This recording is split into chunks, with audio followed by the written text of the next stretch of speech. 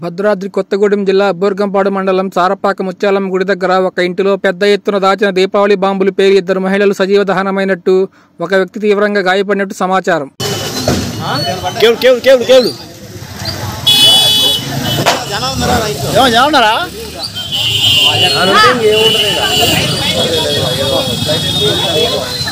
నేను లోపల రియాక్టర్